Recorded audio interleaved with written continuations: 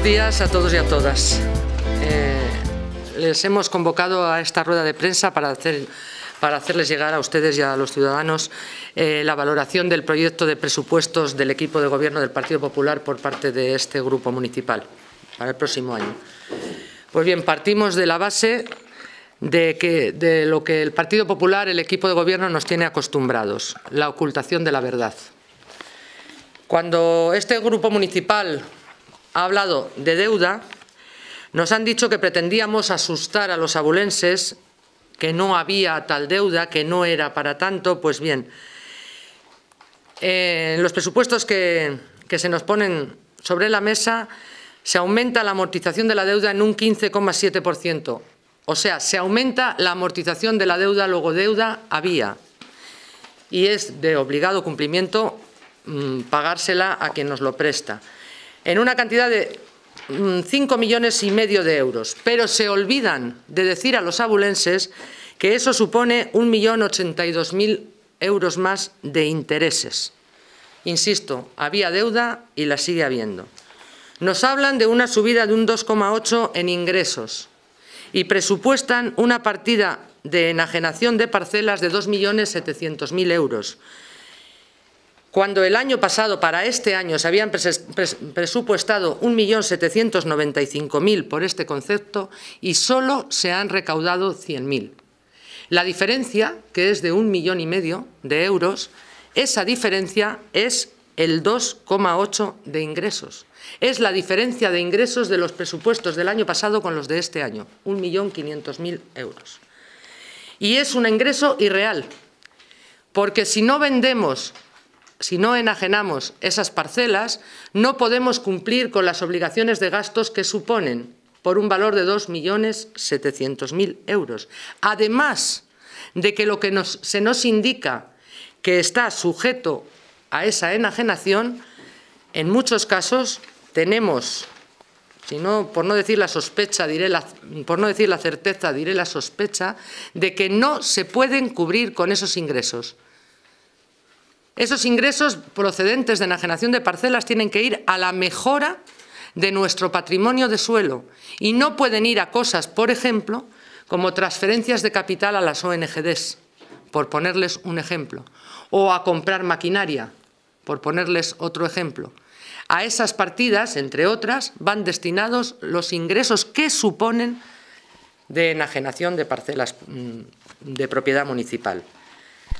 Se nos presenta también en el presupuesto 400.000 euros por la concesión administrativa del servicio de aguas. para el año 2012 se presupuestaron 580.000 euros y se ejecutaron cero. Para este año pasado se, presupuestaron 463.000 y, aunque todavía no tenemos el cierre, suponemos que se van a ejecutar cero y para el año que viene se presupuestan 400.000 euros. Señores, eh, si ejecutamos cero, tenemos que suponer que vamos a seguir en la misma línea. Y tenemos que suponerlo porque tenemos deudas con Aqualia. Y ese dinero tiene que cobrarlo Aqualia porque se le debe dinero a Aqualia. Se nos dice que estos presupuestos van eh, por ejemplo, muy ligados a los servicios sociales. Vale. Pues para el albergue, que debería de haber un albergue municipal, se presupuesta lo mismo que el año pasado. Para teleasistencia, 18.000 euros menos. Para los parados de larga duración, lo mismo que el año pasado. Y, sin embargo, para emergencia social, señores, se presupuesta lo que Izquierda Unida propuso el año pasado y no se nos admitió. Luego teníamos razón que iba a hacer falta más y así sucesivamente. También fijándonos en el empleo, esas son declaraciones del propio teniente alcalde de Economía, y se presupuestan 160.000 euros, 136.000 euros para un plan de empleo. Díganme ustedes qué se puede hacer en la situación que está nuestra ciudad con 136.000 euros. Eh, además, se nos dice que el que se nos haya concedido un crédito de 1.200.000 euros va a hacer que paguemos antes a los proveedores. Con ese millón doscientos mil euros hemos pagado a grandes empresas, A grandes empresas como FCC, el consorcio, por supuesto hay que pagarles, les debíamos dinero, pero hay que suponer que no son pymes, que no implicaría gran destrucción de empleos y además las negociaciones del ayuntamiento para el servicio que nos dan esas empresas son tan buenas y tan baratas sin haber reducido eh, el servicio.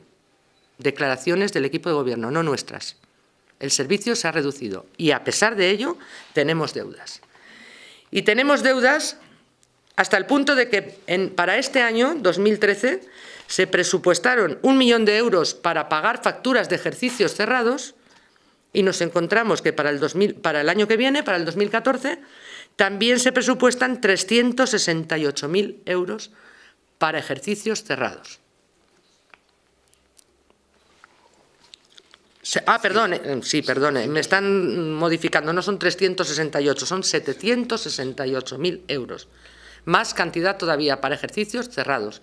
Luego debemos al menos 768.000 euros a empresas que nos han prestado servicios durante, el año, durante los años pasados. Esa es la situación. Esos son los presupuestos que se nos ponen encima de la mesa, esos presupuestos tan reales y que por primera vez, según el equipo de gobierno, insisto, indican una mejoría. No hay tal mejoría no hay tal mejoría y lo vamos a seguir tener que seguir viendo durante el próximo año. Eh, nos tendrán a su disposición en, esta, en estas convocatorias para darles todas las explicaciones que sean necesarias de por qué no se puede cumplir esto. el tiempo nos va a dar la razón. Es más, incluso les podría decir otra partida. Hemos perdido en participación del Estado, en participación de los tributos del Estado y volvemos a presupuestar por encima de lo que seguramente se va a recaudar. Otra partida más.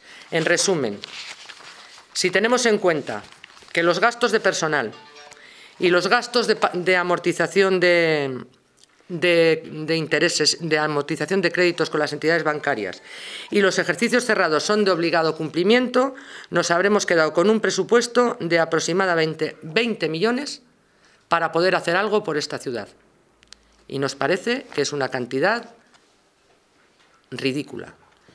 Es muy difícil trabajar sobre unos presupuestos en estas condiciones. A su disposición para las preguntas, las aclaraciones que quieran.